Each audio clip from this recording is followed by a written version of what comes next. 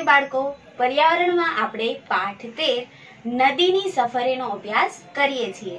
જેમાં ગયા વિડીયોમાં આપણે જોયું કે સરસ મજાની સુંદર નદીઓને માણસ પોતાની પ્રવૃત્તિઓ દ્વારા કેવું પ્રદૂષિત કરે છે. આજે આપણે આ પ્રદૂષિત પાણીને ફરીથી શુદ્ધ કરવાના થોડા ઉપાયો જોઈશું. સૌ પ્રથમ વાત કરીએ કે જ્યાં પાણી હોય છે, ત્યાં કેવા પ્રકારના પ્રાણીઓ, પક્ષીઓ અને વનસ્પતિ જોવા મળે છે. પ્રાણીઓમાં મોટા ભાગે તો માછલી જ જોવા મળે છે. પરંતુ એના સિવાયના ઘણા બધા પ્રાણીઓ હોય છે, જેમ કે દેડકા, કાચબા, કરચલા આવા તો ઘણા બધા પ્રાણીઓ હોય છે. પક્ષીઓ, બગલો, બતક, જળકુકડી સુરખાબ ચકલીઓ આવા બધા પક્ષીઓ ત્યાં આજુબાજુમાં જોવા મળે છે. વનસ્પતિની વાત કરીએ તો દરિયા કિનારે ત્યાં કાંઠા પર મોટી મોટા વૃક્ષો, પીપળો, વડ, લીમડો, નાળિયેરી હોય છે. પરંતુ જો આપણે પાણીની અંદર વાત કરીએ, તો તેની અંદર મોટા વૃક્ષો હોતા નથી. ત્યાં નાના નાના છોડ અને એકદમ વળી જાય તેવી નાની નાની વનસ્પતિ, ઘાસ આવું બધું જોવા મળે છે. ત્યાર પછી વાત કરીએ પૂરની. ઘણીવાર અતિ ભારે વરસાદના કારણે ઘણીવાર ડેમમાંથી પણ પાણી છોડવું પડે છે. તેના કારણે પણ ખૂબ જ જળ સંકટની પરિસ્થિતિ સર્જાય છે. તેમાં માણસોની ઘર વખરી બધું જ પલળી જાય છે. તેમના ઘરની અંદર પાણી ઘૂસી જાય છે. કેટ કેટલા પ્રાણીઓ મૃત્યુ પામે છે અને જ્યાં જુઓ ત્યાં પાણી જ પાણી જેવી પરિસ્થિતિ સર્જાય છે. ત્યારે જાનહાનિની સાથે સાથે માલહાનિ પણ જોવા મળે છે. તો બાળકો, આ પૂરની પરિસ્થિતિ વિશે હજુ વધારે તમારે જાણકારી મેળવવી હોય તો તમે તમારા મમ્મી પપ્પાને પણ પૂછી શકો છો અથવા તો યુટ્યુબ પર કે નેટ પરથી સર્ચ પણ કરી શકો છો. હવે મને કહો જોઈએ તમે ક્યારેક બહાર જાઓ છો, ત્યારે શું તમે ગમે ત્યાંથી પાણી પી લો છો? શું હંમેશા ચોખ્ખું દેખાતું પાણી ચોખ્ખું જ હોય છે? ના, આવું હોતું નથી. ઘણીવાર એકદમ શુદ્ધ દેખાતા પાણીની અંદર પણ ઘણા બધા સૂક્ષ્મજીવો હાજર હોય છે, જે આપણે નરી આંખે જોઈ શકતા નથી.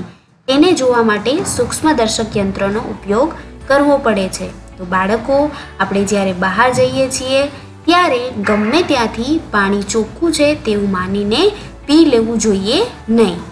હવે આપણે જેમ આગળ વાત કરી તેમ પીવાનું પાણી દરિયાનું તો આપણે ઉપયોગમાં લેતા નથી, કારણ કે તે તો ક્ષારવાળું ખારું પાણી હોય છે. તો પછી આપણે પાણી પીએ છીએ, તે પાણી આવે છે ક્યાંથી? તે પાણી કૂવા, તળાવ, નદી, સરોવર, આ બધી જગ્યાએથી આવે છે. પરંતુ આપણે થોડી વાર પહેલાં તો એવું ભણ્યા કે નદીનું પાણી તો આટલું બધું પ્રદૂષિત છે, જેને આપણે કચરો નાખીએ છીએ, જેમાં આપણે કેમિકલ ઓઇલ આટલું બધું ફેંકીએ છીએ અને આ પાણી પ્રદૂષિત થઈ જાય છે. તો શું આપણા ઘર સુધી જે પાણી આવે છે, તે પાણી આટલું પ્રદૂષિત હોય છે? આપણે એટલું ગંદુ પાણી પીએ છીએ? વિચારો જોઈએ. આપણા ઘરે તો સાફ પાણી આવે છે. અને આ બધું પાણી નદીઓ, તળાવ, સરોવર, કૂવા ત્યાંથી જ આવે છે. તો પાણી પીવાલાયક કઈ રીતે થયું? તો હવે આપણે તે જોઈએ. સૌ પ્રથમ તો આપણે જોયું કે પ્રકૃતિમાંથી આપણને એકદમ ચોખ્ખું પાણી મળેલું છે. પરંતુ તે પાણીને માણસ જ તેની પ્રવૃત્તિઓ દ્વારા પ્રદૂષિત કરી દે છે.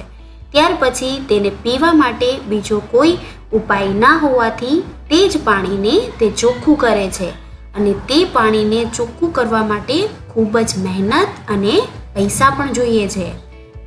સૌથી પહેલાં તો નદીઓ કે તળાવ જ્યાં પ્રદૂષિત પાણી છે ત્યાંથી પાણીને લેવામાં આવે છે અને તેને વોટર ટ્રીટમેન્ટ પ્લાન્ટ કે જ્યાં પાણીનું શુદ્ધિકરણ થાય છે ત્યાં લઈ જવામાં આવે છે.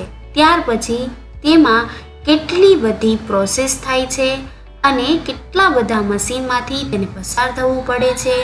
ત્યાર પછી તે પાણી ચોખ્ખું થાય છે.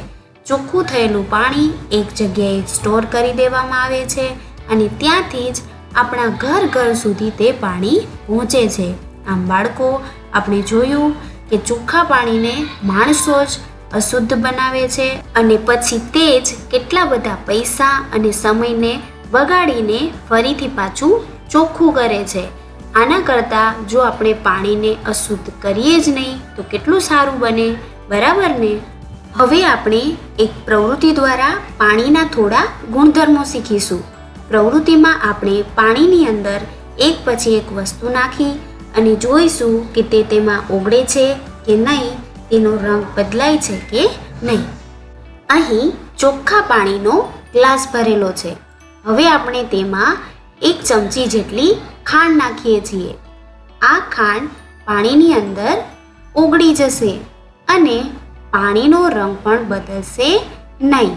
ત્યાર પછી આપણે પાણીમાં એક ચમચી જેટલું મીઠું નાખીને જોઈએ. મીઠું નાખવાથી પણ મીઠું પાણીમાં ઓગળી જશે અને પાણીનો રંગ બદલશે નહીં. હવે આપણે પાણીમાં લીંબુનો રસ નાખીએ. તો તેમાં પણ તે જ જોવા મળશે. તે પાણીમાં ઓગળી જશે અને તેનો રંગ બદલશે નહીં. ત્યાર પછી હળદર નાખતા આપણને જોવા મળશે કે તે પાણીની અંદર ઓગળી અને ભળી તો જાય છે. પરંતુ પાણીનો રંગ પીળો થઈ જાય છે. સાબુનું પાણી નાખતા પણ આપણને તે જ જોવા મળશે. તે પાણીની અંદર એકદમ ભળી જશે, પરંતુ તેના ફીણાથી પાણી એકદમ સફેદ થઈ જશે. ત્યાર પછી આપણે પાણીમાં લોટ નાખીશું. તો આપણને જોવા મળશે કે લોટ સંપૂર્ણ પાણીમાં ઓગળતો નથી અને પાણીનો રંગ બદલી જાય છે. પાણીમાં દાળ નાખવાથી તે પાણીની અંદર ઓગળતી નથી અને પાણીનો રંગ પણ બદલતો નથી. શરબત નાખવાથી તે પાણીમાં ઉગળી જાય છે અને પાણીનો થોડો રંગ બદલેલો જોવા મળે છે. ત્યાર પછી ખાવાનો સોડા નાખતા આપણને જોવા મળશે કે તે પાણીમાં ઉગળી જાય છે અને પાણીનો રંગ પણ બદલી જાય છે. ત્યાર પછી પાણીમાં રાઈ નાખીએ. તો આપણને જોવા મળશે કે તે પાણીમાં ઓગળતી પણ નથી અને પાણીનો રંગ પણ બદલતો નથી. હવે આપણે પાણીમાં તેલ નાખીશું. તો આપણને જોવા મળશે કે પાણીનો રંગ બદલતો નથી અને તેલ પાણીમાં ઓગળતું પણ નથી. બધું તેલ ઉપર આવી જાય છે. તો આપણે જોયું કે અમુક વાર કોઈક વસ્તુ પાણીમાં ઓગળી જાય છે, તો ક્યારેક કોઈક વસ્તુ પાણીમાં ઓગળતી નથી.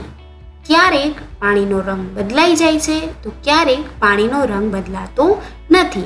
અમુક વસ્તુ જો પાણી કરતાં ભારે હોય, તો તે તળિયે બેસી જશે અને તેલ જે પાણી કરતાં હળવું હોવાથી તે પાણીમાં ભળતું પણ નથી અને પાણીની ઉપરની સપાટી પર આવી જાય છે. તો આ બધા પાણીના ગુણધર્મો છે. હવે આપણે પાણીને શુદ્ધ કરવાની થોડી પદ્ધતિઓ જોઈએ.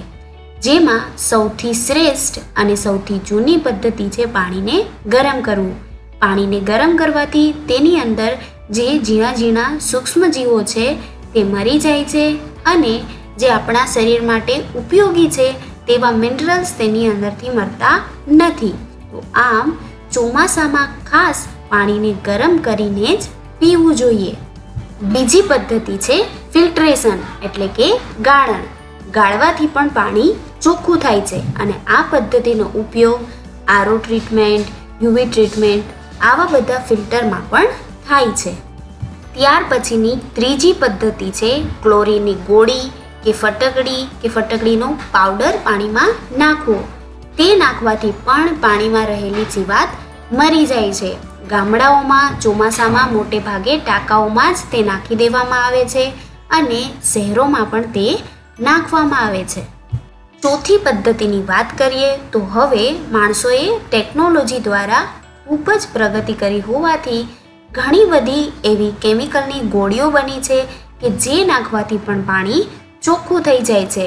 તે જીવજંતુઓને પોતાની તરફ આકર્ષશે અને વજન વધી જવાથી તે બધી અશુદ્ધિઓ નીચે બેસી જશે અને ઉપરનું પાણી ચોખ્ખું થઈ જશે અને તે આપણે ગાળીને ઉપયોગમાં લઈ શકીશું.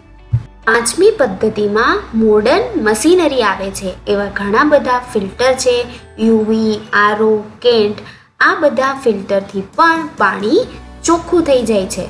પરંતુ આવી બધી મોડર્ન ટેકનોલોજીમાં જે જરૂરી મિનરલ્સ હોય છે, તે પણ સાથે સાથે મરી જાય છે.